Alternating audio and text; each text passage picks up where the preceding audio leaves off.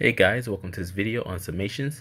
So here we want to evaluate the following summation, which I have here in the orange rectangle, and it runs from i equals 1 to 6 of 5 times i squared plus 2 times i minus 3.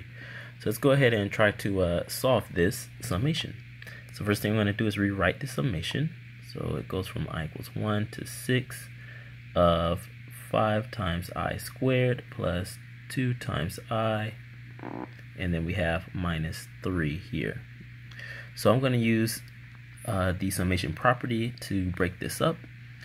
So this means that we'll get the summation from i equals 1 to 6 of 5 times i squared plus the summation from i equals 1 to 6 of 2 times i minus uh, the summation from i equals 1 to 6 of 3 all right. And now we're going to uh, move the the constants over using the properties of summation to get the following.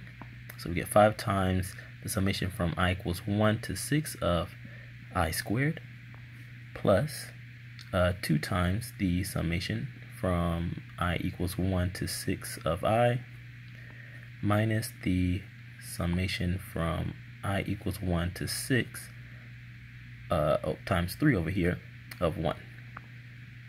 Okay? Now, we can use a formula to solve this.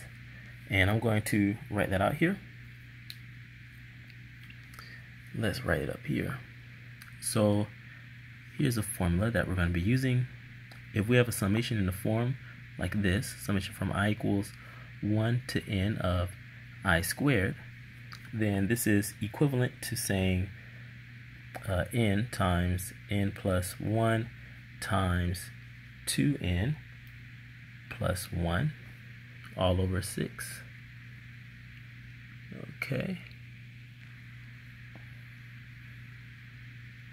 So that's one formula.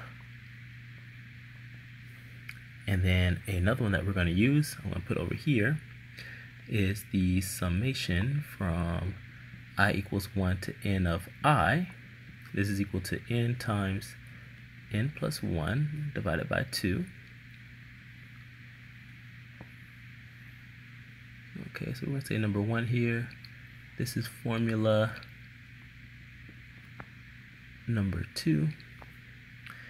And um, we can actually, I can actually put out another formula as well. This third one states if we have a summation from i equals 1 to n of 1, this is equal to n. Okay, so that's formula number 3. And so what we can do now is we can just plug in the values for n here and uh, solve our uh, equation. So now we're going to get 5 times well, we have i squared here, so our n value is going to equal 6, and we're going to use this first formula up here.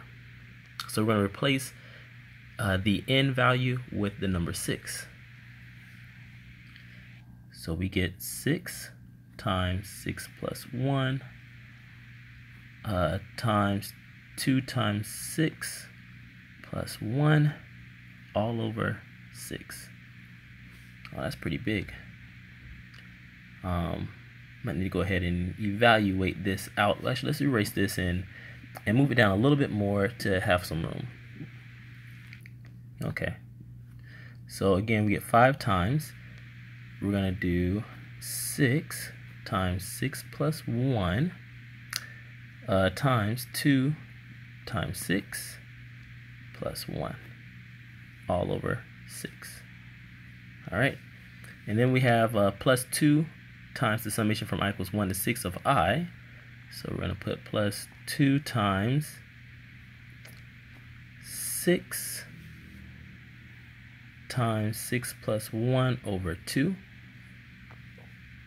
And what we're using here is we're using that second formula here.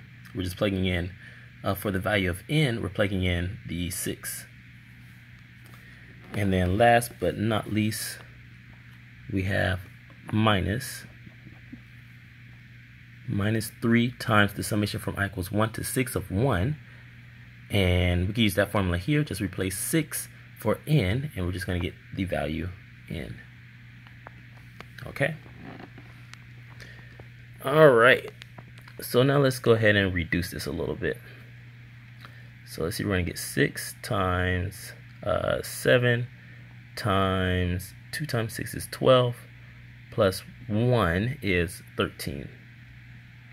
So all that over 6 plus uh, 2 times 6 times uh, 6 plus 1 is 7 over 2 minus 3 times 6 is 18.